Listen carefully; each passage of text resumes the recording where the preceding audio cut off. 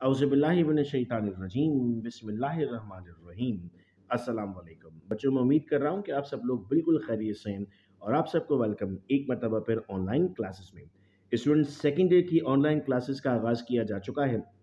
Admissions open है batch one में। याद रहे बेटा, इन ऑनलाइन क्लासेस की कोई मंथली फ़ीस नहीं है। वन टाइम रजिस्ट्रेशन फ़ीस है टू थाउज़ेंड रुपीज़ जिसके बाद आपको रजिस्टर्ड व्हाट्सएप ग्रुप में ऐड किया जाएगा गूगल ड्राइव का एक्सेस दिया जाएगा, जिसमें तमाम चैप्टर्स की complete explanation videos MCQs test वो तमाम चीज़ें टाइमली आप लोगों को मिलती रहेंगी। और कुछ वीडियो लेक्चर्स यूट्यूब पर भी अपलोड होंगे ताकि आपको मेथडोलॉजी समझ में आ जाए कि हम किस तरह से एक्सप्लेनेशन ले रहे होंगे, जो स्टूडेंट्स डेमो क्लासेस चाहते हैं, वो यूट्यूब पर ऑनलाइन डेमो क्लासेस ले सकते हैं। उसके बाद इस नंबर पर zero three zero nine six double seven six double seven one पर रबता कर सकते हैं। स्टूडेंट्स हम आज बात करने जा रहे हैं सेकेंड ईयर फिज़िक्स में। टॉपिक एक्सपेंशन की। देखें एक्सपेंशन का मतलब होता है फैलना, किसी भी चीज़ का बढ़ना। आपने यूजुअली अपने घरों में देखा है कि घर में जब कुछ वक्त गुजर जाता है तो दीवारों पे दरार पड़ती है। जिसकी वजह शायद ये होती है कि आपके घर में जो सरिया इस्तेमाल किया गया, लोहा इस्तेमाल किया उसको सीमेंट के बिल्कुल साथ मिलाकर बना दिया गया था।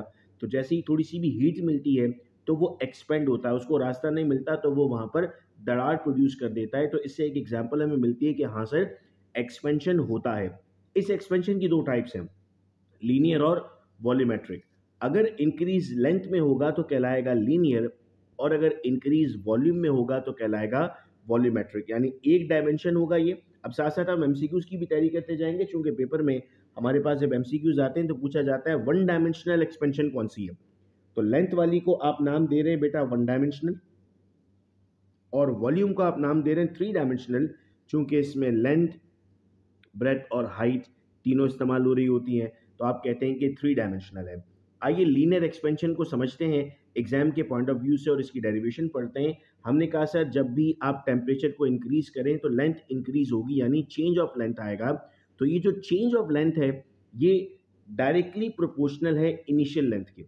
डायरेक्टली प्रोपोर्शनल का मतलब होता है एक चीज़ बढ़ेगी तो दूसरी भी बढ़ेगी। इन्वर्सली होता है, इसका मतलब होता है एक चीज़ बढ़ेगी तो दूसरी कम हो जाएगी।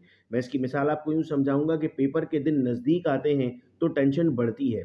ये कहलाता है इन्वर्सली प्रोपोर्शनल ठीक है? और डायरेक्टली प्रोपोर्शनल में मैं आपको एग्जांपल दूँगा कि अगर आप टेम्परेचर बढ़ाते हैं तो पानी का या किसी भी चीज़ का वॉल्यूम बढ़ता है। दूध जब आप बॉयल करते हैं, वो ऊपर की तरफ़ आता है। तो आपने टेम्परेचर बढ़ाया, वो ऊपर की तरफ़ आया तो उसको आपने नाम दिया डायरेक्टली प्रोपोर्शनल का। तो आपने कहा, sir increase in length is directly proportional to the initial length तो delta L is directly proportional to L इसको आपने वन कह दिया। फिर आपने कहा increase in length is directly proportional to change in temperature तो ये आपने कहा delta L is directly proportional to delta T अच्छा याद रहे कि जिस टेम्परेचर की हम बात कर रहे हैं, ये टेम्परेचर कहलाता है एब्सोल्यूट टेम्परेचर और एब्सोल्यूट टेम्परेचर का मतलब होता है कि आपने इसे कौन से यूनिट में लेकर आना होता है? कैलविन में, ठीक है? क्योंकि न्यूमेरिकल्स में हमें बहुत हेल्प मिलती है अगर हमें यूनिट्स बताऊँ।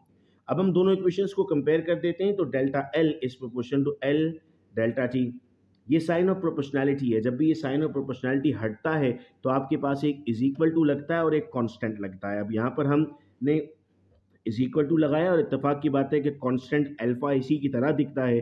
तो ये इक्वेशन बनती है आपकी delta L is equal to alpha L delta T इस अल्फ़ा को हम नाम देते हैं को ऑफ़ लीनियर एक्सपेंशन ये आपको सवाल आता है define expansion what are the types of expansion explain linear expansion तो जो आपका एक चार नंबर का सवाल था, वो आज की क्लास में हमने डिस्कस किया। एडमिशन्स ओपन है रजिस्ट्रेशन अगर आपने करवानी है, दोस्तों के साथ शेयर कीजिए ताकि आपकी ऑनलाइन क्लासेस शुरू हो जाएँ। ऑनलाइन क्लासेस से एडवांटेज ये होता है आपको कि आप टाइम सेव हो जाता है आपका और अगर आप मिसाल के तौर पे कहीं और से पढ़ भी रहे होते हैं तो रिकॉर्डिंग्स के ज़रिए आपकी बहुत ज़्यादा अच्छी प्रैक्टिस होना शुरू हो जाती है। अपना ख्याल रखिएगा बेटा आप सब लोग। अल्लाह हाफिज़।